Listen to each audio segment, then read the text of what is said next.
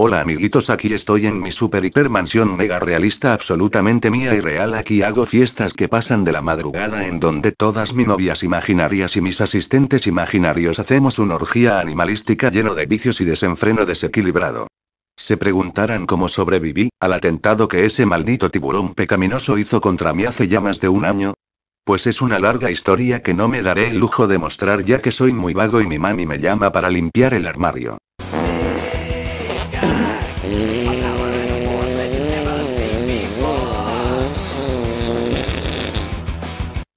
Así es amiguitos, pero da lo mismo, no solo me deshice de ese pato maricón, sino que también les traigo algo que tiene todo que ver con esto. El top 10 mejores franquicias de videojuegos. Aquí viene. Ah no esperen que viene mi novia personaje no existente del que estoy obsesionado 725.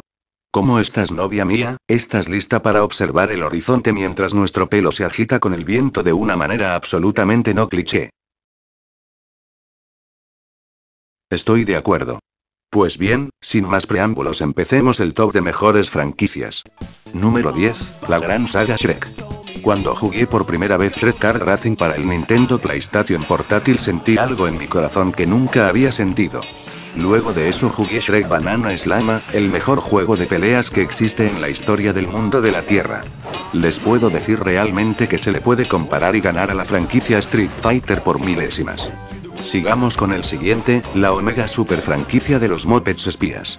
Esta franquicia es tan genial que los productores del juego no quisieron ensuciar la pureza del primer juego, así que simplemente no hicieron más.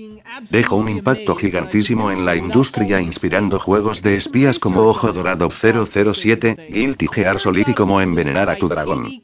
Ya va a ser la hora de que me vaya de dormir así que avancemos rápido a la siguiente francocia.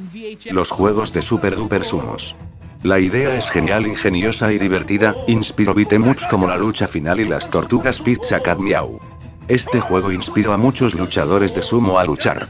Recuerdo haberlo jugado en mi infancia cuando tenía dos años y haberme partido la madre jugándolo, es más todavía lo hago